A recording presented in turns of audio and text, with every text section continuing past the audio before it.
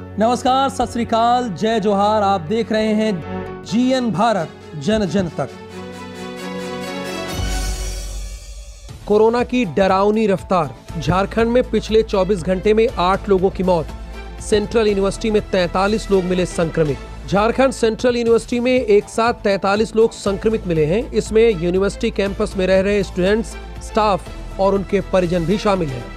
प्रशासन की बड़ी लापरवाही यहाँ सामने आई है। कोरोना का सैंपल देने के बाद यहाँ के संक्रमित 90 प्रतिशत से ज़्यादा लोग यूनिवर्सिटी छोड़कर निकल गए हैं। यानी वे पॉजिटिव होने के बाद भी ट्रेवल किए हैं। इंसिडेंट कमांडर विजय हेमराज खालको ने बताया कि यूनिवर्सिटी कैंपस में कुल 300 सैंपल जाँच के लिए लिए गए थे।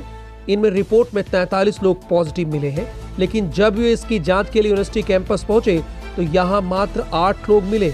बाकी लोग कैंपस छोड़कर निकल चुके हैं।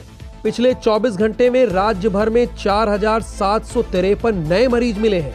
इसके साथ ही अब राज्य में एक्टिव केस की संख्या तीस के पार पहुँच गई है। राज्य में सबसे ज़्यादा एक्टिव केस 11,445 रांची में है।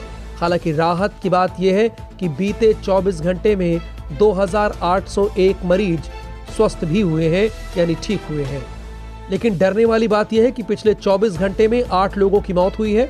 पिछले 24 घंटे में कोरोना संक्रमण से राज्य में आठ लोगों की मौत हुई है। इसमें बोकारो का एक, पूर्वी सिंहभूमि में तीन, हजारीबाग में एक, रांची में दो और सरायकेला में एक संक्रमित ने दम तोड़ा है। राज्य में कोरोना से मरने वालों का आंकड़ा बढ़कर पाँच तक पहुँच गया है। अपने राज्य से जुड़ी हर ताज़ा खबरों के लिए आप हमें सब्सक्राइब करें साथ ही बेल आइकन बटन दबाना ना भूलें।